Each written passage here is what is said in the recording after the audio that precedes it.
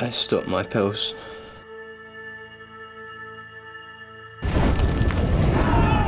They dull you, and I wanted to feel things again. Where I'm from is a violent environment.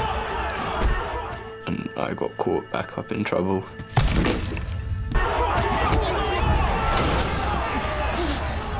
I wanted my true self to come up in a new place. I wanted to be pure again. I was very hopeful. Something good was going to happen.